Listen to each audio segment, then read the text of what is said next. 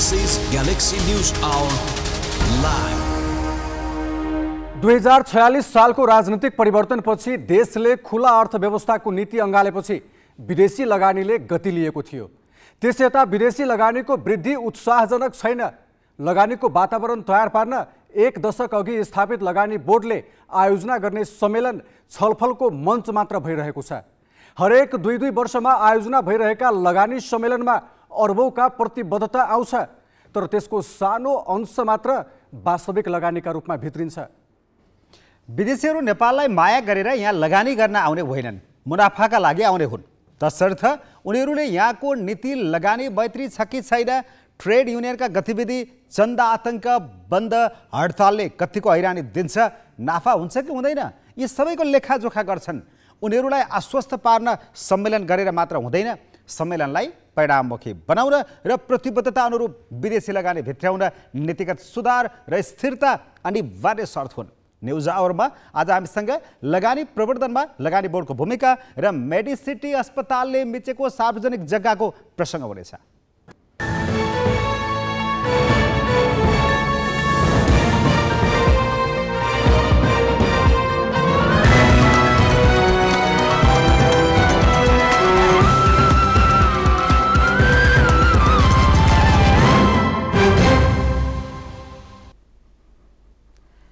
नमस्कार यो हो ग्यालेक्सी न्युज आवर अब हेडलाइन्स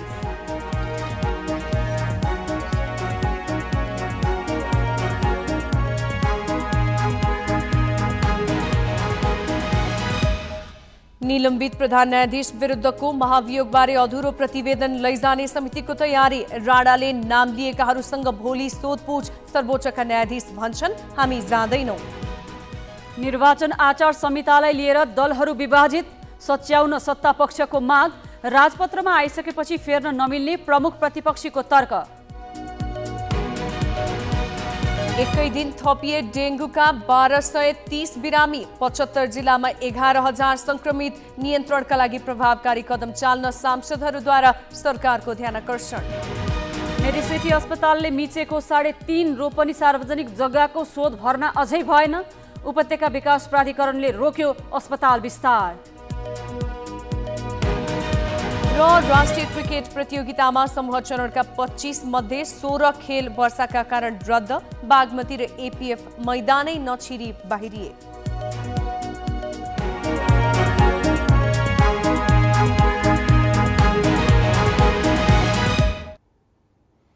गैर आवासीय नेपाली सङ्घ एनआरएनएका संस्थापक अध्यक्ष हुन् उपेन्द्र महतो। उनले नेपालमा धेरै क्षेत्रमा लगानी गरेका छन्। ललितपुरको नखुमा रहेको मेडिसिटी अस्पताल उनकै स्वामित्वको हो। तर तिन सय सयको मेडिसिटी अस्पताल सार्वजनिक जग्गा मिचेर बनाएको पाइएको छ। अस्पतालले साढे तिन रोप्ने जग्गा मिचेको विषयमा सरकारका कुनै निकायले चासो दिएका छैनन्। ललितपुर पाटनका नरबहादुर महर्जनको पुर्ख्यौली खेत मेडसिटी अस्पताल नजिकै थियो। नखु खोलासँगै समानान्तर भएर बग्ने राजकुलोको पानीले खेत सिन्चित हुन्थ्यो। तर अहिले त्यो कुलो कहाँ छ उनी भ्यौ पाउनै सक्दैनन्। तल खेत छ उता दुईवटा कुलो छ यहाँ खेत रोप्नलाई। दुईवटा कुलो छ यहाँ। अहिले छैन अहिले सबै भाँसिसक्यो त्यहाँ। कसले मासु यो कुलो अब कुन कुन मिडिसिटले पनि उता कुलो सारिसक्यो उता पनि भाँसेछ यो मान्छे त अब तल त्यो काठ ग्राउन्डमा पनि भाँसेछ छैन कुलो अहिले। दुईवटा भएको त्यहाँ कुलो। पहिला हाम्रो खेत छ तल तल पानी लिन जान्ने त्यो माथिदेखि खोलेको पानी सुनेर ल्याउने नखुसकै पश्चिमतर्फ समानान्तर बग्ने राजकुलो कहाँ थियो भनेर बुझ्न यो नक्सा पर्याप्त हुन्छ। साबिक सैबु गाविस कको किता नम्बर चार सय उनासाठी र चार सय सन्ताउन्नको बिचबाट बग्दै पश्चिमतर्फ लाग्ने रेखा नै राजकुलो हो। राजकुलो कसरी गायब भयो र कहाँ पुगेर विलय भयो भनेर बुझ्न यो नक्सा हेरौँ। किता नम्बर बत्तिससम्म आइपुग्दा राजकुलोको अवशेष अझै जीवित छ। एनआरएनएका संस्थापक अध्यक्ष उपेन्द्र महतोले सञ्चालन गरेको मेडिसिटी अस्पताल रहेको जग्गामा पुगेपछि भने राजकुलो मेटिएको छ। उता तल त्यो हस्पिटल भन्दा उता पछाडि हाम्रो खेत छ। अनि त्यो खेतमा पानी यसो माथि माथि त्यो ढङ्गले माथि माथि टिनले माथि माथि पानी ओसार्नु पर्छ त्यो टलको अनि यहाँ माथिको धान रोप्नेलाई हामीले पछा तलकोलाई दिँदैन अनि हामी यहाँ माथि हेर्न आउँछौँ पानी लानलाई। त्यो ढल चाहिँ कुलो चाहिँ छ। तर अहिले त कुलो छैन। अहिले छैन एउटा चाहिँ घर नबनाएको ठाउँमा चाहिँ छ होला। साबिक सैबु छ क चार च र चार जमा गरी साढे दुई सय रोपनी भन्दा बढी जग्गा उपेन्द्र महतोले किनेको खुलेको छ। उनले खरिद गरेको अधिकांश जग्गा अश्विन्सी मेडिकल कलेजको नाममा छ। कलेजको नाममा मात्र एक सय चौतिस किताबमा नब्बे रोपनी भन्दा बढी जग्गा रहेको मालपोत कार्यालयको अभिलेखबाट देखिन्छ। बाँकी जग्गा नेपाल मेडिसिटी प्राली राम आशिष साहु र वीरेन्द्र प्रसाद महतोको नाममा पाइएको छ। राम आशिष उनकै बाबु तथा वीरेन्द्र भाइ हुन्। हदबन्दी छल्ने ध्येयले महतोले बाबु र भाइका नाममा किनेका हुन्। नापी कार्यालयको अभिलेखबाट राजकुलो महतोले किनेको जग्गामा देखिन्छ। यो उपेन्द्र महतोकै परिवारको नाममा रहेको किता हो र उनीहरूको किता भएर बगिरहेको एउटा राजकुलो अझै पनि अवशेषका रूपमा देख्न सकिन्छ। दुई हजार बहत्तर साउन उन्तिसमा बस्ती विकासको नयाँ नीति आयो। जसले सरकारी र सार्वजनिक जग्गा भोग हस्तान्तरण गर्ने गरी संरचना बनाउन निषेध गरेको छ। तर मेडसिटी दुई हजार चौसठीकै कार्यविधिमा टेकेर राजकुलोमाथि ठडियाइएको कागजातबाट खुल्छ। दुई हजार छैसठी कार्तिक एघार गते तत्कालीन सैबु गाविसले अश्विन्सी मेडिकल कलेजलाई उसको किताभित्र पर्ने साढे तिन रोपनी सार्वजनिक जग्गा सट्टापट्टा गरिदिने शर्तमा सिफारिस दिएको खुलेको छ। तर मेडसिटीले अहिलेसम्म त्यो जग्गा फिर्ता गरेको छैन। सार्वजनिक र सरकारी जग्गामा अस्पताल बनाउन तत्कालीन सैबु गाविसका सचिव ललितपुर महानगर अठारका यस अघिका अध्यक्ष पुरुषोत्तम खड्का तथा नापी मालपोत उपत्यका नगर विकास प्राधिकरणका कर्मचारी समेतको मिलेमतो रहेको देखिएको छ। यो मेडिसिटी हस्पिटल जहाँ छ अहिले त्योभन्दा धेरै माथिदेखि पहिलेदेखिको साबिक त्यो कुलो जहाँ चोबारको आदिनाथको लाई यो हाम्रो चैते दसैँ भन्छौँ। त्यो अष्टमीको दिन चाहिँ त्यहाँ आदिनाथलाई ल्याएर मेला भरिन्छ। त्यो ठाउँसम्म पुग्ने कुलो हो त्यो मेन कुलो। अब अहिले त्यहाँ मेडिसिटी हस्पिटल बनेपछि त्यो कुलो हस्पिटलकै भित्र परेको छ। भित्र पर्यो र त्योभन्दा अर्को सानो कुलो त्यहाँ भएको सार्वजनिक जमिन नखु खोलो त्यो चाहिँ आफ्नो ठाउँबाट जुन ठाउँबाट हिजो दुई हजार बाइस सालको नापेको नक्सामा थियो। त्यो अहिले देखिँदैन त्यहाँ। सार्वजनिक जग्गासँग सट्टापट्टा गरिदिने शर्तमा उपत्यका विकास प्राधिकरणले आँखा चिम्लेर अस्पताल बनाउने प्लानिङ पर्मिटमा हस्ताक्षर गरिदियो। मेडिसिटीले अहिलेसम्म सट्टा जग्गा नदिएपछि प्राधिकरणको ललितपुर कार्यालयले सात सय सयमा विस्तारका लागि मागेको इजाजत भने रोकेको छ। अस्पतालले मिचेको राजकुलोको साढे तिन रोपनी जग्गाको मूल्य अहिले पचास करोड रुपियाँ भन्दा बढी पर्छ। सर्वमान्य कुरा के हो भने खोला मात्रै बगेको हुँदैन। खोलासँग बगर पनि हुन्छ र त्यही बगरमा बन्दै गरेको नखु करिडोरको बाटोमा मेरो जग्गा परेको छ र मैले त्यहाँ जग्गा सोध भर्ना गरेको छु भनेर मेडिसिटी अस्पतालले राजकुलोलाई जबरजस्ती आफ्नो किताबमा घुसाइरहेको छ। क्यामेरामा सुशील बास्कोटाका साथ अक्षर काका ग्यालेक्सी फोके नखु करिडोर ललितपुर। मेडिसिटी अस्पतालले सरकारी कर्मचारी सङ्घको मिलेबतमा सार्वजनिक जग्गा आफ्नो कितामा त पार्यो नै। नक्खु खोलाको प्राकृतिक धार नै फेरेको पाइएको छ। तर यो प्रकरणमा अहिलेसम्म दोषीलाई कारवाहीका लागि कुनै निकायले पनि तातो लगाएका छैनन्। पुरानो र हाल अद्यावधिक गरिएको यो नक्सालाई भिडाएर हेर्दाखेरि मेडिसिटी अस्पतालले राजकुलो मात्रै मासेको होइन। यो नखु खोला बग्दै गरेको नखु खोलाको प्राकृतिक बहावलाई पनि फेरबदल गर्न खोजेको देखिन्छ। मेडिसिटीले साढे तिन रोपनी जग्गा भवन निर्माण सम्बन्धी दुई हजार चौसठीकै कार्यविधि अनुसार पनि फिर्ता गर्न आनाकानी गर्ने ठाउँ देखिँदैन। तर पन्ध्र वर्षसम्म जग्गा फिर्ताबारे चासो नदेखाएको मेडिसिटीले अस्पताल परिसर पछाडिको करिडोरको बाटो देखाएर जग्गा फिर्ता गरेको दावी गर्न थालेको छ। जबकि त्यहाँ मेडिसिटीले मात्र जग्गा छाडेको होइन। करिडोर क्षेत्रमा जग्गा भएका अरूले पनि छाडेका हुन्। नखु खोला क्षेत्रमा करिडोर खोल्ने बेलामा खोलाको बहाव क्षेत्र तेह्र मिटर कायम गरेर बाटाको दायाँ बायाँ बाह्र बाह्र मिटर कायम गर्ने उल्लेख थियो। त्यही अनुसार पर्खा लगाएर करिडोर खोल्ने प्रक्रिया अघि बढाइयो। दुई हजार एक्काइसको नापी अनुसार खोलाको बहाव क्षेत्र किटान गरी पर्खा लगाउन खोज्दा मेडिसिटीले खोलाको बहाव क्षेत्र नै धकेल्यो। त्यसमा नापी कार्यालय ललितपुर समेत सहयोगी बन्यो। मेडिसिटीले नकु खोलाको धार कसरी फेर्यो भनेर थाहा पाउन यो नक्सा हेरौँ। नक्सामा उल्लेखित धर्सा साबिकको बहाव क्षेत्र हो तर मेडिसिटीले धकेलेर अहिले निलो घेराले जनाएको क्षेत्रमा पुर्याइदिएको छ। यसबारे सरकारका कुनै निकायले पनि चासो नदिएको पाइएपछि हामीले ललितपुर महानगर अठारका वडाध्यक्ष दामोदर खड्कालाई सोध्यौँ। उनले मेडसिटी सरकारी सम्पत्ति हडप्न सफल हुनुमा विगतका जनप्रतिनिधि र नियामकहरूलाई दोष दिए तर हडपिएको जग्गा फिर्ताबारे भने ठोस जवाफ दिएनन्। सम्बन्धित ठाउँको व्यक्तित्वले संस्थाले नभइकन व्यक्तिको कारणले पनि त्यो जग्गा कहिले खोलाको छेउमा दिन्छु भनेर प्रस्ताव गर्ने। अब अहिले त हामीलाई के सुन्न आएको छ भने तपाईँको हाल साबिकलाई आफ्नो पक्षमा लिएर भइरहेको बाटोलाई फेरि पुनः त्यसैमा चाहिँ जग्गा थपेर बाटो फराकिलो गराउने र यो जग्गा चाहिँ सार्वजनिक हितमा प्रयोग गर्न नदिने उद्देश्यले त्यो संस्थापकहरू मतलब त्यो संस्था जो जिम्मेवार संस्था हो उहाँको उपस्थिति त्यसरी देखिएको छ। तर हामी चाहिँ यो विषयमा अलिकति गहिरै अनुसन्धान गरिराखेका छौँ। म जस्तै यो कुर्सीमा बस्ने पूर्व वडा अध्यक्षहरूले के गर्नुभयो कस्तो भूमिका रह्यो त्यो जग्गा जमिन फिर्ता गर्नुको लागि के के पहल गरिएको थियो कि थिएन? अथवा उहाँकै कारणले पनि कतै संस्थाले आफ्नो फाइदामा राख्नको लागि आफ्नो संस्थाले मात्रै प्रयोग गर्न पाउने गरेर आफ्नो हितको लागि मात्रै जग्गा राख्न खोजिएको हो कि भन्ने हामीलाई शङ्का लागिरहेको अवस्था हो यो। राजकुलो मास्न र खोलाको बहाव क्षेत्र धकेल्न जनप्रतिनिधि कसरी प्रयोग भए भनेर थाहा पाउन यो पत्र हेरौँ।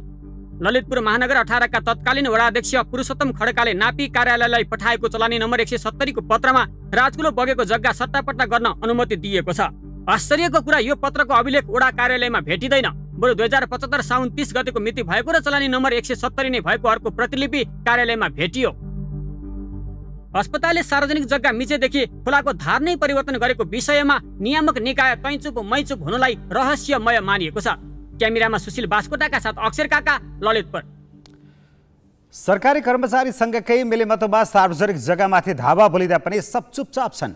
शक्तिको तुजुगमा बल मिछ्याएको यो श्रृङ्खला तोड्न कसलाई के कुराले रोकेको छ बुझिन सक्नु छ। हरेक जसो जग्गा गोठलामा सरकारी कर्मचारीकै मिलेमतो प्रमाणित भइसक्दा पनि सरकार तातेन भने शङ्काको परिधि अझै फराकिलो हुन्छ। यस्ता व्यथितिमा हाम्रो खबरदारी निरन्तर रहिरहनेछ। अब केही न्युज संक्षेपमा। राष्ट्रपति विद्यादेवी भण्डारीसँग नेपाल भ्रमणमा रहेका चिनिया कम्युनिस्ट पार्टीका तेस्रो वरियताका नेता ली चान्सुले शिष्टाचार भेट गरेका छन्। चान्सुले आज शीतल निवास पुगेर राष्ट्रपति भण्डारीसँग प्रतिनिधि मण्डल स्तरमा वार्ता गरेका हुन्। भेटमा राष्ट्रपति भण्डारीले दुई देशको मित्रवत सम्बन्धका बारेमा चर्चा गर्दै उच्चस्तरीय भेटवार्ताले सम्बन्ध थप सुदृढ हुने विश्वास व्यक्त गरिन्। चान्सुले राजनैतिक पारस राजनीतिक पारस्परिक विश्वास अझ सुदृढ गर्नु र विविध क्षेत्रका सहकार्यलाई गहन बनाउनु आफ्नो भ्रमणको उद्देश्य रहेको बताएको परराष्ट्र मन्त्रालयले जनाएको छ।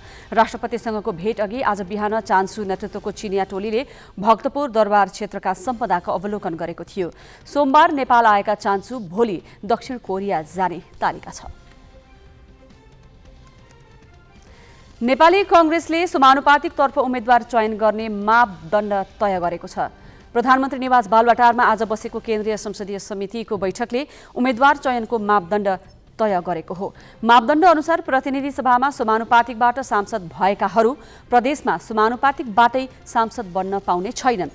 प्रदेशमा समानुपातिकबाट सांसद भएकाहरू पनि प्रतिनिधि सभामा समानुपातिकबाट सांसद हुन नपाउने मापदण्ड बनाइएको छ। नेपालमा पछिल्लो चौबिस घण्टामा बाह्र सय तिसजनामा डेङ्गु सङ्क्रमण पुष्टि भएको छ। स्वास्थ्य तथा जनसङ्ख्या मन्त्रालयका अनुसार साउन यता डेङ्गु सङ्क्रमण पुष्टि हुनेको सङ्ख्या एघार हजार नागेको छ। एडिस जातको लामखुट्टेको टोकाइबाट सर्ने डेङ्गु सङ्क्रमण दुई महिनादेखि बढ्दो क्रममा छ। पचहत्तर जिल्लाका एघार हजार पैँसठीजनामा सङ्क्रमण देखिएको मन्त्रालयले जनाएको छ। सङ्क्रमित मध्ये सबैभन्दा धेरै बागमती प्रदेशका हुन्। बागमतीमा आठ हजार तिन सय नब्बेजनामा सङ्क्रमण पुष्टि भएको छ। यो वर्ष डेङ्गुका कारण सातजनाको मृत्यु भएको छ।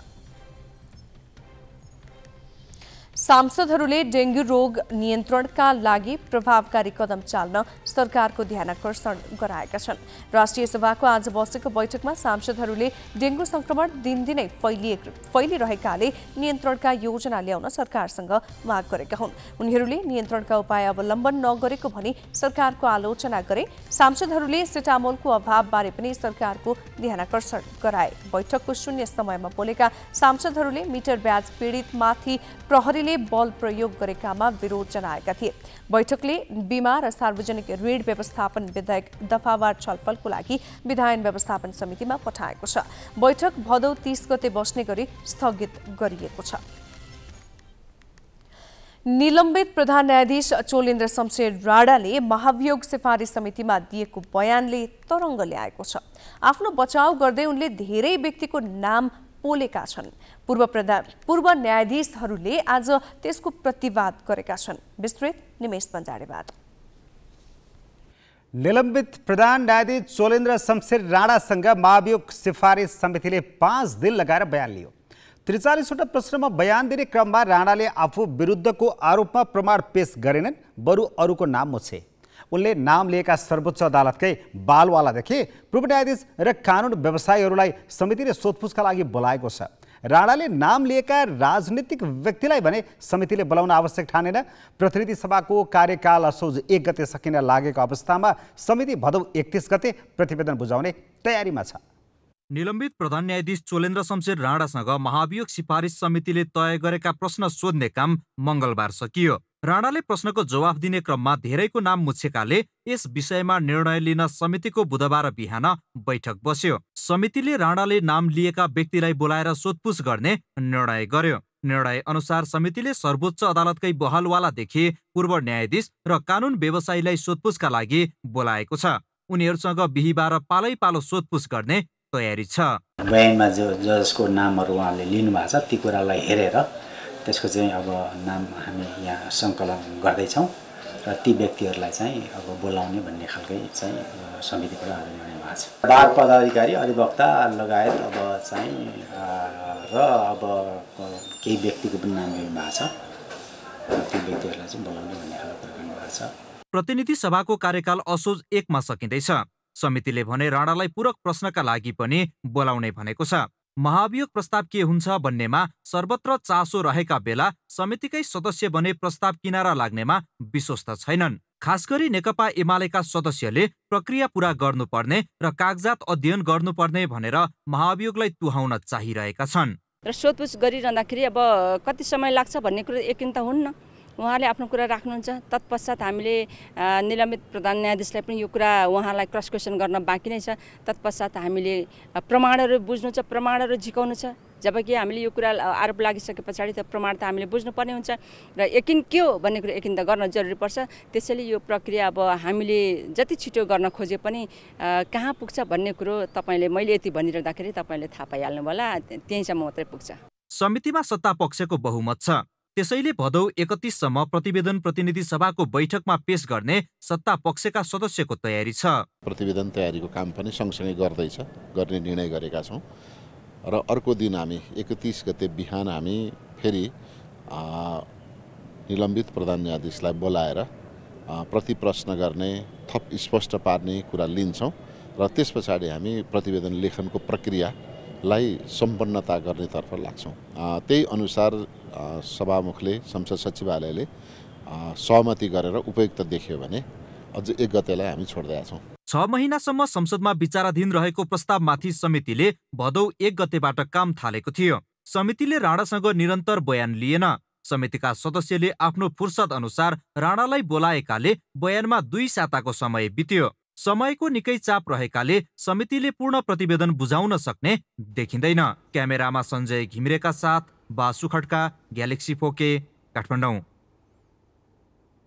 सर्वोच्च अदालतका न्यायाधीश महाभियोग सिफारिस समितिमा नजाने भएका छन्। सर्वोच्च अदालतको आज बसेको पूर्ण बैठकले संवैधानिक व्यवस्थाका कारण समितिले बोलाएको छलफलमा न्यायाधीशहरू सहभागी नहुने निर्णय गरेको हो। समितिमा उपस्थित हुनु र सवाल जवाफ गरिनु स्वतन्त्र न्यायपालिका शक्ति पृथकीकरणको सिद्धान्त र संविधानले अङ्गीकार गरेका मान्यता समेतका दृष्टिले उचित र शोभनीय नहुने बैठकले ठहर गरेको छ। निलम्बित प्रधान न्यायाधीश सोलेन्द्र शमशेर राणाले समितिमा बयानका क्रममा कायम मुकायम प्रधान न्यायाधीश दीपक कुमार कार्की तथा न्यायाधीशहरू हरिकृष्ण कार्की मिरा खड्का ईश्वर खतिवडा आनन्दमोहन भट्टराई र प्रकाशमान सिंह राउतलाई विभिन्न विषयमा मुछेका थिए। त्यसपछि समितिले उनीहरूलाई भोलि बिहान साढे आठ बजे सोधपुछका लागि बोलाउने निर्णय गरेको थियो।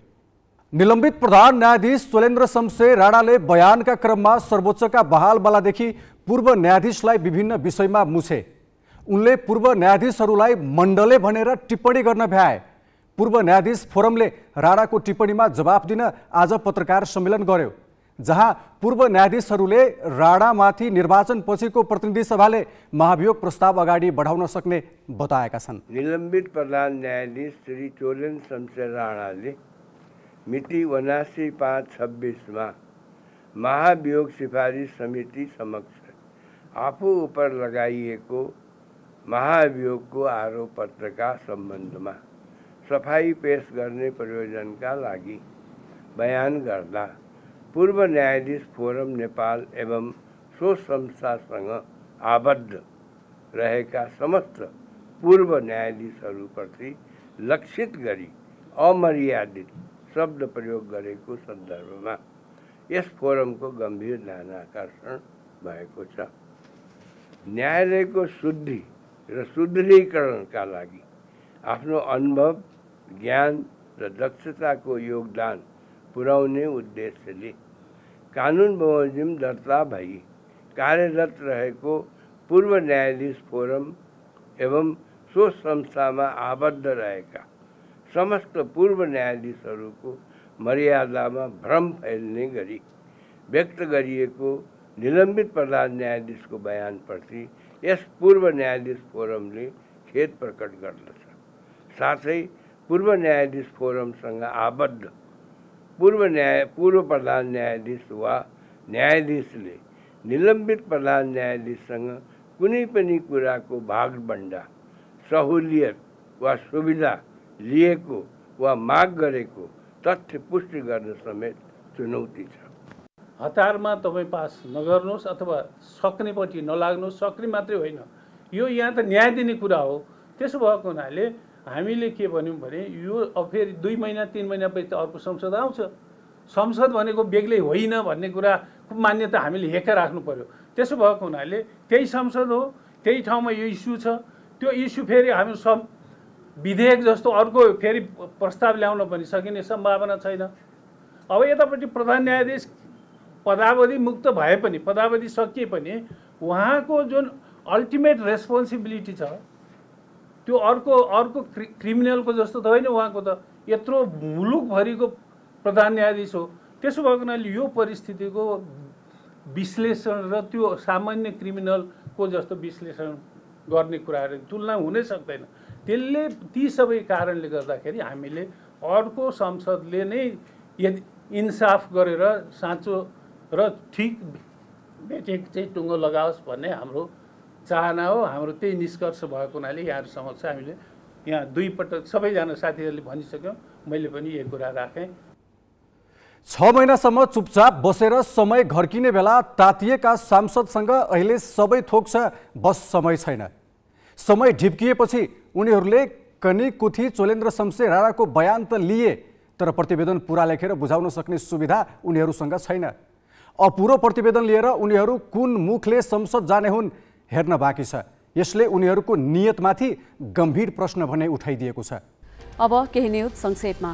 राष्ट्रपति विद्यादेवी भण्डारीले बाल प्रज्ञा प्रतिष्ठान स्थापनाको चाहना व्यक्त गरेकी छन्। अन्ठाउन्नौ राष्ट्रिय बाल दिवसका अवसरमा आज शीतल दिवसमा गरिएको अन्तर्क्रियामा राष्ट्रपति भण्डारीले बालबालिकाहरूको क्षमता प्रस्फुटनका लागि प्रतिष्ठान स्थापनाको चाहना व्यक्त गरेकी हुन्। उनले बालबालिकाहरूको भावना बुझी कार्यक्रम तय गर्न नेपाल बाल सङ्गठनलाई आग्रह गरिन्। युगान्डामा प्रहरी हिरासतमा रहेका पाँच नेपालीको रिहाईका लागि सरकारले पत्राचार गरेको छ। युगान्डाका लागि अवैधानिक नेपाली दूत सुधीर रूपरेलियाले त्यहाँको गृह मन्त्रालयलाई पत्राचार गरी पाँच नेपालीलाई रिहा गर्न आग्रह गरेका हुन्। पाँच नेपाली दस दिनदेखि युगान्डा प्रहरीको हिरासतमा छन्। अवैतनिक दूत रूपरेलियाले नेपाली युवा मानव बेचबिखनमा परेको हुन सक्ने उल्लेख गर्दै उनीहरूलाई नेपाल फिर्ता गर्दा हुने हवाई खर्च दूतावासले बेहोर्ने बताएका छन्। इथियोपियाको टिग्रेमा भएको हवाई आक्रमणमा दसजनाको मृत्यु भएको छ। पाँचजनाको मेकेले सहरको आइडर रेफरल अस्पताल लैजाँदै गर्दा र पाँचजनाको ड्रोन हमलामा मृत्यु भएको हो। मृत्यु हुनेको सङ्ख्या अझै बढ्न सक्ने चिकित्सकहरूले बताएका छन्। टिग्रेयन सेनाले तत्काल युद्ध विराम गरी सरकारसँग शान्ति वार्ता गर्न स्वीकार गरेको छ। निर्वाचन आयोगले तयार पारेको आचार संहिताका केही व्यवस्थाबारे दलहरूलाई बिचकाएको छ। खास गरी ठूला राजनैतिक दलहरूमा मत ऐक्यता ऐक्यता छैन। आज आयोगसँगको छलफलमा दलहरूले के भने विस्तृत विनय कुमारबाट। निर्वाचन आयोगले मङ्सिर चार गतेका लागि तय प्रतिनिधि सभा र प्रदेशसभा चुनावका लागि आचार संहिता दुई साता अघि नै बनाएको थियो। भदौ तेह्र गते राजपत्रमा प्रकाशित भए पनि लागू गरिएको छैन। आयोगले लागू गर्नु पूर्व छलफलका लागि दलहरूलाई बोलाएको पनि थियो। सत्तारूढ दलले कतिपय प्रावधान दलीय व्यवस्था विपरीत रहेको भनेर सच्याउन माग गरे तर प्रमुख प्रतिपक्षी एमाले भने नसच्याई लागू गर्नु पर्ने अडान लियो। आयोगले प्रदेश र सङ्घीय संसदमा प्रतिनिधित्व गर्ने बाह्र दललाई निर्वाचन आचार संहिता र समानुपातिक प्रणालीतर्फ पेश गर्ने बन्द सूचीबारे छलफलका लागि बुधबार बोलाएको थियो। छलफलमा दुई हजार चौहत्तरको प्रतिनिधि सभा र प्रदेशसभा निर्वाचनको बन्द सूचीमा रहेका उम्मेद्वारको नाम एकमुष्ट रूपमा असोज एक अघि नै फिर्ता लिने व्यवस्थाका लागि सबै दल सहमत भए। एक गते अर्थात् दुई गतेदेखि चाहिँ समानुपातिको बन्द सूचीको काम कारवाही अगाडि बढ्छ। बन्द सूची पेश गर्ने खालको प्रक्रिया सुरु हुन्छ भनेर भने एक गते नै अघिल्लो पदावधिको त्यो बन्द सूची स्वत समाप्त हुने भनेर जाने भन्ने खालको कुरा भएको छ। तर आचार संहिताका बारेमा भने दलहरू एकमत हुन सकेनन्। आचार संहिताको मस्यौदामाथि आयोगले भदौ छ गते राखेको छलफलमै दलहरूले असहमति जनाएका थिए। मन्त्री तथा स्थानीय तहका जनप्रतिनिधिले निर्वाचन प्रचार प्रसार गर्न नपाउने प्रस्तावित व्यवस्थामा दलहरूको असहमति थियो। तर आयोगले दलहरूको सुझाव समेट्न आवश्यक ठानेन। आचार संहिता भदौ तेह्र गते राजपत्रमा प्रकाशित गर्यो। आफ्नो सुझावलाई व्यवस्था गरेको पनि सत्तारूढ दलका नेताले आचार संहिता सच्याउन माग गरेका छन्। नेपाली काङ्ग्रेस पार्टीको सभापति अहिले प्रधानमन्त्री हुनुहुन्छ। उहाँले चाहिँ आफ्नो निर्वाचन क्षेत्रभन्दा अन्यत्र जान नपाउने गरी जो आचार संहिताले जारी गरिएको छ यो वैज्ञानिक भएन। यो चाहिँ अहिले संसदीय शासन प्रणाली मुताबिक भएन। भन्ने कुरा मैले छ गतेको बैठकमा पनि राखेको थिएँ। त्योभन्दा पछाडि हामीले दस गते एउटा संयुक्त रूपमा नेपाली काङ्ग्रेस लगायत पाँच राजनीतिक दलहरूले पनि हामी लिखित रूपमा पनि निर्वाचन आयोगलाई बुझाएका थियौँ। तर तेह्र गते पुरानै आचार संहिता फेरि चाहिँ सार्वजनिक भएको अवस्था छ। तर प्रमुख प्रतिपक्षी नेकपा एमाले भने राजपत्रमा प्रकाशित भइसकेकाले अब सच्याउनतिर लाग्न हुँदैन भनेको छ। निर्वाचन आचार संहिता नेपाल राजपत्रमा प्रकाशित भइसकेको। निर्वाचन कार्यक्रम प्रकाशित भइसकेको निर्वाचन आचार संहिता निर्वाचनको एउटा माहौल बनिसकेको अवस्थामा कुनै दल विशेषको अनुरोधलाई स्वीकारेर निर्वाचन आचार संहितालाई फेरबदल गर्ने कुरोले निर्वाचनको स्वच्छता पारदर्शितालाई यसले चाहिँ राम्रो गर्न सक्दैन। त्यसकारण स्वच्छता निर्वाचनको पारदर्शिता समितिको आधारमा यसरी फेरबदल गर्दै जाने हो भने यो निर्वाचनमा त एउटा दलको सत्तारूढ गठबन्धनले आफूले एकलौटी चुनाव गरेर घोषणा गर्दै भइहाल्यो। तिन घन्टाभन्दा बढी लामो छलफलपछि आयोगले सच्याउने आश्वासन त दिएको छ तर दलहरूका सबै माग समेट्न नसक्ने जवाफ पनि आयोगले दिएको छ। निर्वाचन आचार संहिता वा अन्य कुनै विधि विधान बनाएर लोकतन्त्रलाई कमजोर हुने र यो चाहिँ दलहरूले अभ्यास गर्न पाउने अधिकारलाई कुण्ठित गर्ने क्रियाकलापहरू गर्दैनौँ। तर त्यसो भन्दैमा जुन निर्वाचनका आधारभूत मूल्य मान्यता र सिद्धान्तहरू छन् त्यसको प्रतिकूल हुने काम पनि गर्न दिँदैनौँ। कुन कुन व्यवस्था सच्याउने भन्ने आगले प्रश्न पारेको छैन। दलहरूको असहमतिकै बीच लागू गरिए त्यसको प्रभावकारी कार्यान्वयन हुनेमा भने आशंका छ। क्यामेरामा योगेश लामाका साथ अङ्गराज नेउपाने काठमाडौँ। निर्वाचन आयोगले प्रतिनिधि सभाको कार्यकाल असोज एक गते सकिने भनेर आइतबार पत्राचार गर्यो। असोज दुई गते समानुपातिक निर्वाचन प्रणालीतर्फ बन्द सूची पेश गर्ने तालिकालाई आधार मानेर प्रतिनिधि सभामा पत्राचार गरेपछि आयोग विवादमा तानिएको छ। सत्तारूढ दलले आयोग क्षेत्राधिकार बाहिर गएको भनेका छन्। प्रमुख प्रतिपक्ष एमाले भने आयोगको बचाउ गरेको छ। जो निर्वाचनमा जाने हो ऊ पोजिसनमा जान सक्दैन। अनि तल एउटा वडा अध्यक्षले चाहिँ राइनामा दिएर वडा अध्यक्ष लड्नुपर्ने। पार्लिमेन्टहरू चाहिँ लोगो लगाएर चुनावमा जान पाउनुपर्छ। अथवा चुनाव भइसकेपछि पनि पार्लिमेन्ट रहिरहन्छ। यो त एकदम हास्यास्पद हुन्थ्यो र यो मोरल्ली पनि ठिक थिएन। सरकार यस मामलामा चाहिँ अलिक गलत मनसायबाट प्रेरित भएको थियो। कोही पनि नबोलेको स्थितिभित्र निर्वाचनसँग सम्बन्धित विषय ह्यान्डल गर्ने संवैधानिक अङ्ग भएको नाताले निर्वाचन आयोगले अब यसदेखि उता उतापट्टि चाहिँ पार्लिमेन्ट रहँदैन भन्नु त स्वाभाविक भयो भन्ने मलाई लाग्छ। खासमा कानुन बनाएर यसलाई स्पष्ट गर्नु पर्थ्यो कानुनको लागि विधेयक आएको थियो। विधेयकमा सहमति बनेन। सरकारले फिर्ता लियो। त्यसैले आगामी दिनमा यसलाई कानुन बनाएर स्पष्ट गर्नुपर्छ। प्रदेश सभाको कार्यकाल पनि स्पष्ट छैन। संविधानमा एक खालको व्यवस्था छ। स्थानीय तहहरूको पनि छैन। र यसलाई निर्वाचन आयोगले पत्राचार गर्ने गरिरहेको छ यो फेरि उपयुक्त तरिका होइन। निर्वाचन आयोगले निर्वाचन गराउने हो। र संविधानले बताएअनुसार कार्यकाल कानुनले बताएअनुसार कार्यकालभित्र रहेर निर्वाचन प्रक्रिया मात्रै सम्पन्न गर्ने हो। यस अर्थमा निर्वाचन आयोगले आफ्नो क्षेत्राधिकारभन्दा बाहिर जो पत्राचार गरेको यो बेठिक कुरा हो यसरी चाहिँ संविधान विपरीत काम कुनै पनि संवैधानिक निकायले गर्न पाउँदैन। त्यो पनि एउटा संवैधानिक निकाय हो निर्वाचन गराउने उसको पनि दायित्व हो। यसमा सरकार पक्ष आयोग र सभामुख बसिकन त्यही हो भने एउटा निर्णय गरिकन अन्यल समाप्त गरिकन अगाडि बढ्नुपर्छ। जहाँ छोए त्यही ठाउँमा पुहाल पर्ने यो संविधान। तपाईँ हेर्दै आउनुभयो पाँच वर्षमा। पाँच वर्षमा जुन अवस्था स्थिति भयो त्यो सम्पूर्ण ठाउँमा विवाद भयो। कहिले अदालतमा पुगे स्थानीय निकायमा पनि यही प्रश्न खडा भयो अदालतसम्म पुगे। त्यस कारणले गर्दाखेरि एउटा निश्चित कुरा कहीँ न कहीँ गर्नुपर्छ अन्यलमा राखिकन काम गर्नु हुँदैन। यो निर्वाचित सभालाई खाली नराख्ने गरी नै हामी जानुपर्छ। त्यसो गर्नको निम्ति जहाँ लुपोलहरू छन् अथवा कमी कमजोरी छन् यसलाई सच्याएर हामी जानु पर्थ्यो त्यतापट्टि बहस गर्ने भत्ता खान खोज्यो भनेतिर बिग्रियो क्या। अनि यही त्यो लोभी लालची भने यस्तो ढङ्ग यस्तो दरिद्र मानसिकताले लोकतन्त्र हुन्छ सुदृढ हुन्छ। त्यस अर्थमा यसरी नसोचौँ वा जहाँ अस्पष्टता छ त्यसलाई स्पष्ट पारेर यसलाई खाली नराखौँ। बरु म त के भन्छु नि बरु नलिउँ यही नै विवाद हो भने भत्ता नलिने। किन किन लिनु पर्यो जनप्रतिनिधिले भत्ता नलिकन काम गर्दा नि त हुन्छ। स्वयंसेवी डैले काम गर्दा नि हुन्छ। तर यसलाई खाली चाहिँ नराखौँ भन्ने मेरो धारणा हो। सङ्क्रमणकालीन न्याय सम्बन्धी विधेयक दफाबार छलफलका लागि अहिले संसदीय समितिमा छ। समितिले विधेयकमा सहमति जुटाउन कार्यदल गठन गरे पनि दलहरूको मत मिलेको छैन। समितिको आज बसेको बैठकमा माओवादी केन्द्रका अध्यक्ष पुष्पकमल दाहाल पनि सहभागी थिए। उनले मानव अधिकार उल्लङ्घनका द्वन्द्वकालीन घटनामा विशेष अदालतले गर्ने फैसला विरुद्ध पुनरावेदनमा जान सक्ने व्यवस्था राख्न सहमति जनाएका छन्। उनले पीडितको आवाजलाई पनि सम्बोधन गरी विधेयक सहमतिमा टुङ्गो लगाउनु पर्नेमा जोड दिएका छन्। हामीहरूले कसरी भोलि इन्टरप्रेट गर्छौँ र कसरी लागू गर्नेतिर स्पिरिट देखाउँछौँ भन्ने कुराले शब्द जे राखे पनि हुने चाहिँ त्यसको परिणाम त्यो हो। यो त देखियो नि अदालतका फैसलाहरूमा पनि त हामीले धेरै कुरा देखाएको छौँ नि त यो बिचमा। त्यसो भएर जस्तो अपिलको कुरा सडकमा नै उठ्या छ हामी भाषा मिलाएर अपिल राखिदिउँ भन्नेमा छु म चाहिँ।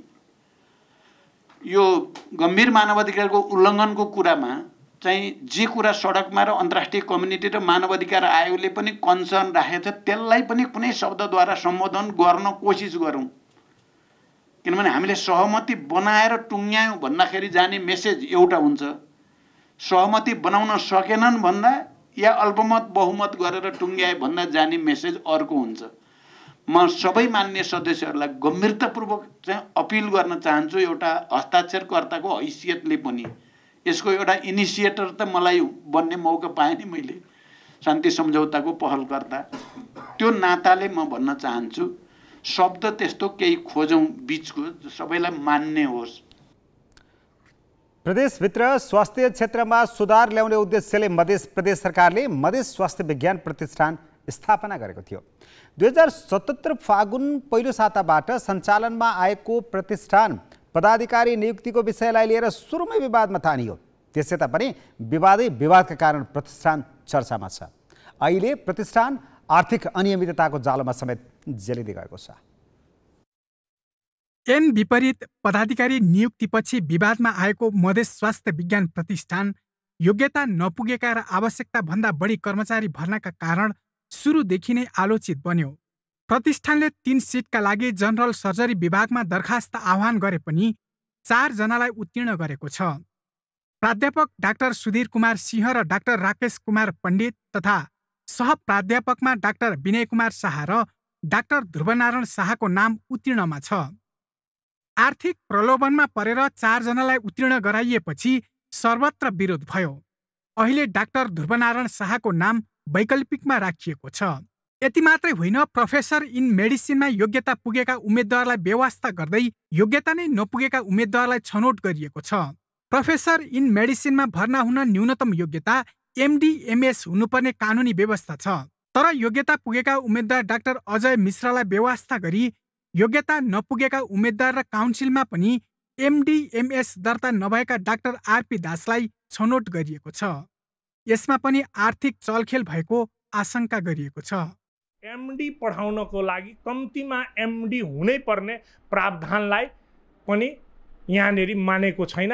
मधेस स्वास्थ्य विज्ञान प्रतिष्ठानले आफैले बनाएको प्रोफेसरको लागि क्राइटेरियाको पनि धज्जी उडाउँदै विज्ञापनमा एकजना क्यान्डिडेटलाई ता जबरजस्ती बसाएर र उहाँलाई सफल क्यान्डिडेटको रूपमा त्यहाँनिर रिजल्ट प्रकाशन गरिएको छ र यसको विरुद्ध मैले हिजो सत्ताइस गते भदौ दर्ता नम्बर एक सौ सत्ताइस मैले त्यहाँनिर उजुरी दर्ता गरेको छु। प्रतिष्ठानका प्रशासनिक कर्मचारीले समेत फारम बुझ्ने बेलामा न्यूनतम प्रक्रिया पुरा नगरेको भेटिएको छ। एउटा पदका लागि आवेदन दिइएकोमा अर्कै पदमा नाम निकालिएको छ। मेडिसिन विभागमा एसोसिएट प्रोफेसरका लागि आवेदन दिएका डाक्टर कृष्ण कुमार शाहको नाम असिस्टेन्ट प्रोफेसरमा निस्केको छ। विज्ञापन एउटा पदमा आह्वान हुँदा नाम अर्कैमा सिफारिस भएको प्रति मेडिसिन विभागका डाक्टर रविरञ्जन प्रधानले पनि आपत्ति जनाएका छन्। एउटा पोस्टमा चाहिँ सिफारिस गरे के अरे एप्लिकेसन दिने र अर्को पोस्टमा चाहिँ नाम सिफारिस नतिजा चाहिँ सिफारिस हुने। यो चाहिँ अब मिलिजुली भएको हो भने पनि यसलाई चाहिँ मान्यता हुँदैन। त्यो पोस्टमा चाहिँ यदि चाहिँ उहाँको नतिजा प्रकाशन भएको छ भने त्यो पोस्टको लागि चाहिँ उहाँले सीमित मिति जुन तोकिएको छ त्यही मितिमा चाहिँ आवेदन दिएको हुनुपर्छ। यदि यो आवेदन छैन भने यो नियम सम्मत छैन।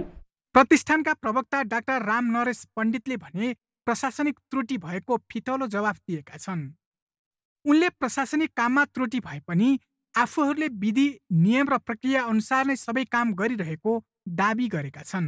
इक्जामिनेसन जस्तो एकदम सेन्सिटिभ काम हो त्यो र त्यो काममा थोरै मान्छेले त्यो गर्दाखेरि अलिकता त्यो मान्छेले त्यो अब हिँड्दाखेरि अब दिनभर काम गर्दाखेरि त्यो थकाइले भनौँ न त्यस्तो बुलबस हुन गएको हो। तर त्यस्तो सबैले हामीले विधि प्रक्रिया नियम कानुन जे छ त्यो सबै मिलाएरै गरेको हो। प्रदेश सरकारले दुई हजार सतहत्तर कार्तिक पच्चिसमा प्रदेश राजपत्रमा प्रकाशित गरी प्रतिष्ठान गठन गरेको थियो। त्यस लगत्तै एनमा व्यवस्था नै नभएको मेडिकल सुपरिन्टेन्डेन्ट पदमा एघारौँ तहका वरिष्ठ चिकित्सक डाक्टर प्रमोद कुमार यादवलाई नियुक्त गरिएपछि प्रतिष्ठान विवादमा तानिएको थियो।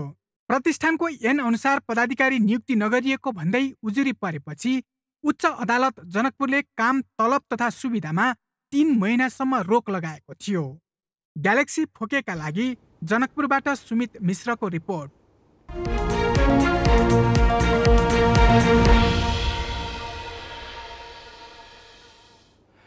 सेयर बजार सत्तालिस दशमलव चार चार अङ्कले बढेर उन्नाइस सय एक्कासी बिन्दुमा पुगेको छ। आजको वृद्धि एक महिना यताकै धेरै हो यसअघि साउन तिसमा पचपन्न अङ्कले बढेको थियो। त्यस दिन नेप्से दुई हजार पैँसठी बिन्दुमा थियो त्यस यता नेप्से एक सय उनासाठी अङ्कले घटेर सोमबार उन्नाइस सय छ बिन्दुमा झरेको थियो। सस्तिएको बजारमा मङ्गलबारदेखि किन्नेहरू बढेपछि बजार उकालो लागेको हो। मङ्गलबार नेप्से एक्काइस अङ्कले बढेको थियो। नेप्से बढ्न थालेपछि कारोबार रकममा पनि सुधार आएको छ। आज एक अर्ब पैँतालिस करोडको सेयर किनबेच भएको छ। कारोबारमा आएका तेह्रवटै समूह बढेका छन्। मुलुकमा लगानी भित्राएर आर्थिक वृद्धिमा टेवा पुर्याउने ब्याकबोनको रूपमा खडा गरिएको लगानी बोर्डले हरेक दुई वर्षको अन्तरालमा लगानी सम्मेलन गर्दै आएको छ। देश विदेशका लगानीकर्तालाई भेला पारेर करोडौँ बजेट खर्च गरिने सम्मेलन कति परिणाममुखी भए भनेर स्वतन्त्र विश्लेषण भएको छैन।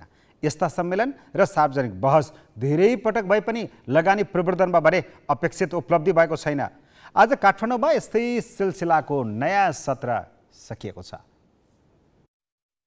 यसपटक मात्रै होइन अघिल्ला वर्षहरूमा पनि लगानी बोर्ड र सरकारका अरू निकायहरूले यस्तै सम्मेलन र नलेज फोरमहरू आयोजना गरेका थिए।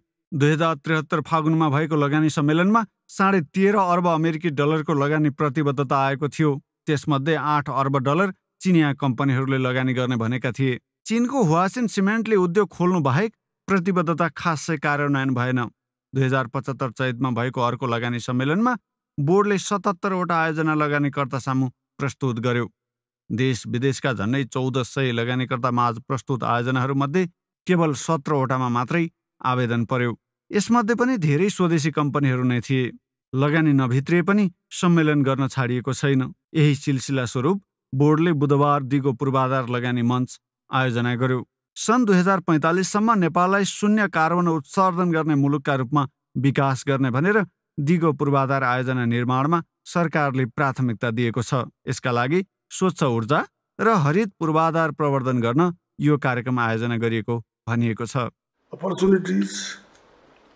Or public-private partnership must be further explored and utilized.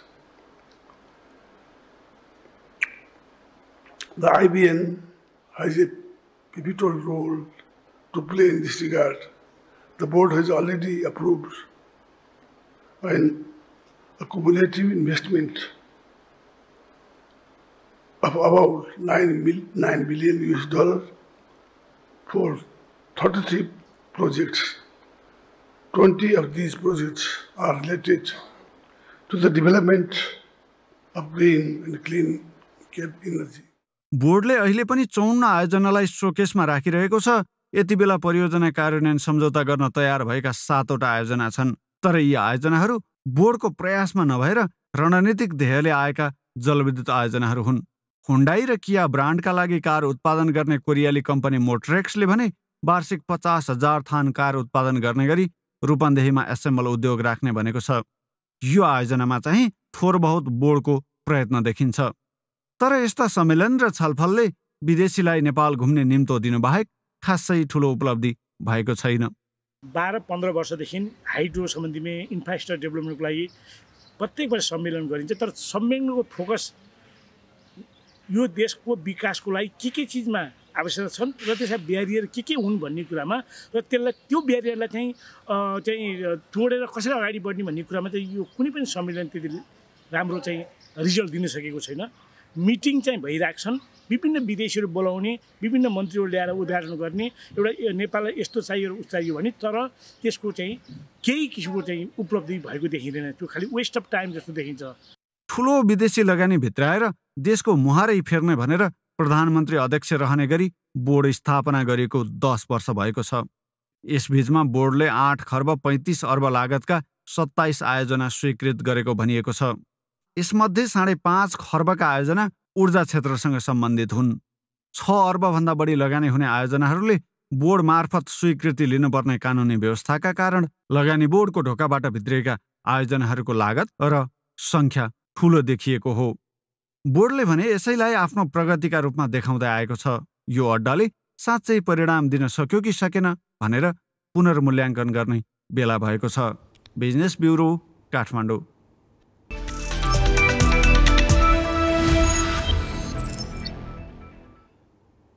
AFC under twenty Asian cup छनौटको आफ्नो तेस्रो खेलमा नेपालले आज आयोजक बहराइनसँग प्रतिस्पर्धा गर्दैछ। Sheikh Ali bin Mohammed al Khalifa स्टेडियममा हुने खेल नेपाली समयअनुसार राति पौने बाह्र बजे सुरु हुनेछ बहराइन विरुद्ध मैदान उत्रदा नेपाल पहिलो जितको खोजीमा हुनेछ नेपाल पहिलो खेलमा भुटानसँग दुई शून्य र दोस्रो खेलमा कतारसँग तिन एक गोलले पराजित भएको थियो एक खेल मात्र खेलेको बहराइनको एक अङ्क छ शीर्ष स्थानमा रहने नेपालको सम्भावना लगभग सकिएको छ समूह विजेताले सन् दुई हजार तेइसमा उज्बेकिस्तानमा आयोजना हुने अन्डर ट्वेन्टी एसियन कपमा स्थान बनाउनेछ। आफ्नो अन्तिम खेलमा नेपालले आइतबार बङ्गलादेशसँग खेल्नेछ। त्रिभुवन आर्मी क्लब समूह विजेता बन्दै टी ट्वेन्टी राष्ट्रिय क्रिकेट प्रतियोगिताको सेमिफाइनलमा प्रवेश गरेको छ। विनोद भण्डारीको उत्कृष्ट ब्याटिङमा आर्मीले आज नेपाल प्रहरीलाई तेह्र रनले हरायो। त्रिवी मैदानमा उन्नाइस ओभरमा छोट्याइएको खेलमा पहिले ब्याटिङ गरेको आर्मीले पाँच विकेटको नोक्सानीमा एक सय सतहत्तर रन बनायो। अर्जुन साउद र विनोदले अर्धशतकीय पारी खेले। विनोदले उनातिस बलमा सात छक्का र दुई चौकाको मद्दतले छैसठी रनको पारी खेले। अर्जुनले त्रिपन्न रन बनाए। करण केसीले दुई विकेट लिए। जवाफमा एक सय अठहत्तर रनको चुनौती पछ्याएको प्रहरी बिस ओभरमा आठ विकेट गुमाउँदै एक सय चौसठी रनमा समेटियो। आरिफ शेखले चालिस र सुनिल धमलाले सत्ताइस रन बनाए। सोमपाल कामी र सहबाब आलमले दुई दुई विकेट लिए। जितपछि आर्मी समूह विजेताका रूपमा सेमिफाइनल प्रवेश गर्यो पराजित प्रहरीले पनि समूह उपविजेताका रूपमा सेमिफाइनलमा स्थान बनाएको छ। यही समूहमा कडालीले गण्डकी प्रदेशलाई आठ रनले हरायो। जितका बावजुद कडाली प्रतियोगिताबाट बाहिरिएको छ टस जितेर पहिले ब्याटिङ गरेको कडालीले निर्धारित तेह्र ओभरमा सात विकेट गुमाउँदै त्रियानब्बे रन बनायो। चौरानब्बे रनको लक्ष्य पछाएको गण्डकी नौ विकेट गुमाउँदै पचासी रनमा समेटियो। समूह बीबाट एनआरएनए र सुदूरपश्चिम सेमिफाइनलमा पुगेका छन्। सेमिफाइनलमा आर्मीले सुदूरपश्चिम तथा एनआरएनएले प्रहरीसँग खेल्नेछन्। घरेलु प्रतियोगिता युवा खेलाडी उत्पादन गर्ने बलियो माध्यम हो। यिनै प्रतियोगितामा गरेको प्रदर्शनले राष्ट्रिय टोलीसम्मको यात्रा निर्धारण गर्छ। त्यसका लागि युवा खेलाडीले मेहनत गर्छन्। तर नवराष्ट्रिय खेलकुद अन्तर्गतको क्रिकेट प्रतियोगितामा युवा खेलाडीले त्यो अवसरै पाएनन्। वर्षाले धमाधम खेल रद्द भएपछि धेरै टोली मैदानमा टेक्न नपाउँदै बाहिरिए।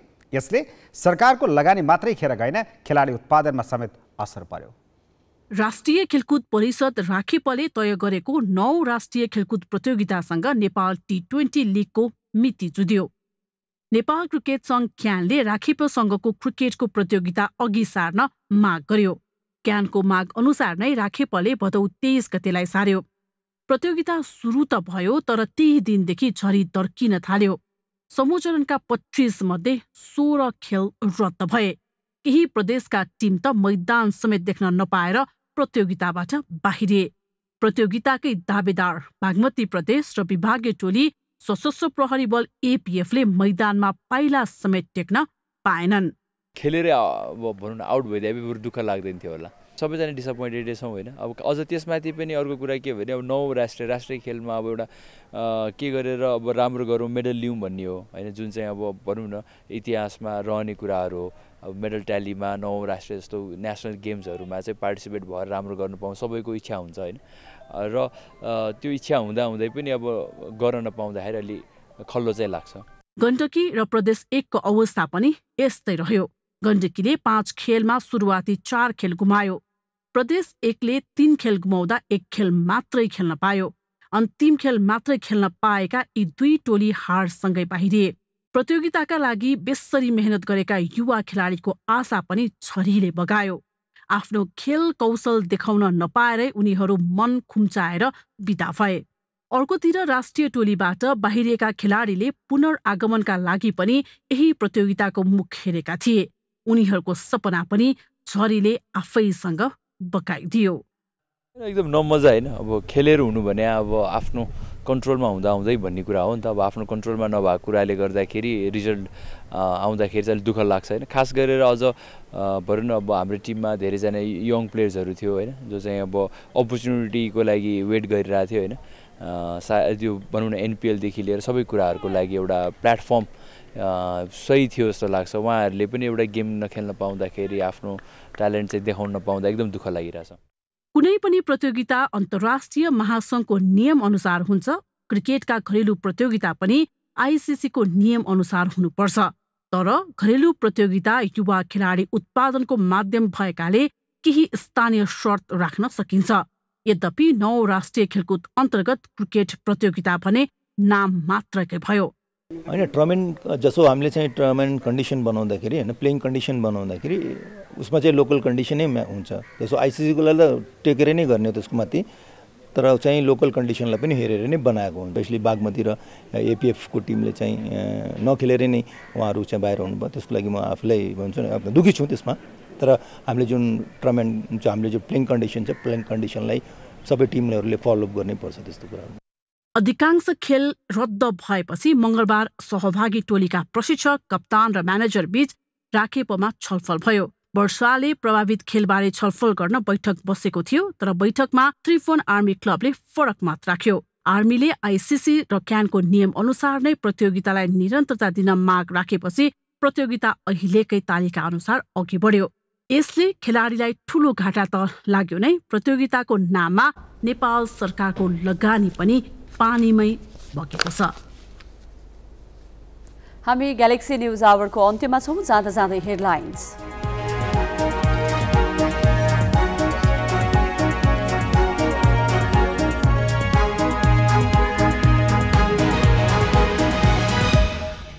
निलम्बित प्रधान न्यायाधीश विरुद्धको महाभियोगबारे अधुरो प्रतिवेदन लैजाने समितिको तयारी। राणाले नाम लिएकाहरूसँग भोलि सोधपुछ। सर्वोच्चका न्यायाधीश भन्छन् हामी जाँदैनौँ।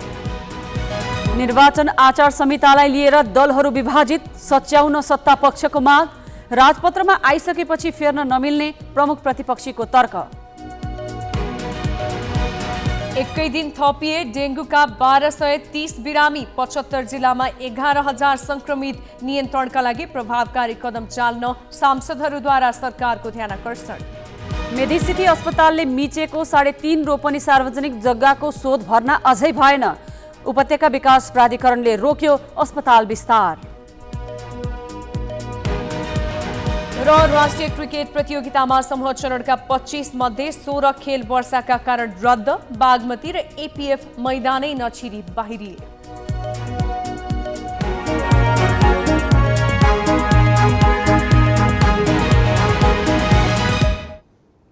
आजलाई ग्यालेक्सी न्युज आवर सकियो। नमस्ते।